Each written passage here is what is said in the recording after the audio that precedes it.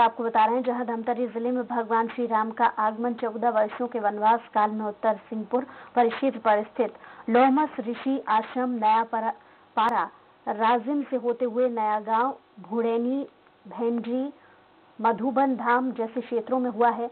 यहाँ से विभिन्न गाँव से होकर कोरे गाँव परिक्षेत्र धमतरी परिक्षेत्र से, बिरगुड़ा परिक्षेत्र और सिहावा क्षेत्र के सेंडूर से।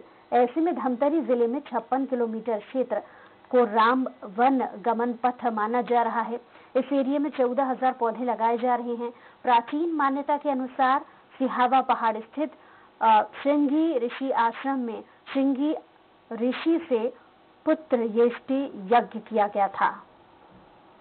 में हम लोगों ने स्व सहायता समूह से ट्री गार्ड बनवाया है और यहाँ पे जो जिस पथ में राम जी का चौदह वर्ष वनवास गमन हुआ था, उसमें आम, इमली, बरगद, पीपल, ऐसे पाँच प्रजाति, नीम, ऐसे पाँच प्रजातियों का रोपण किया गया है। अगली खबर जहाँ रौंडी में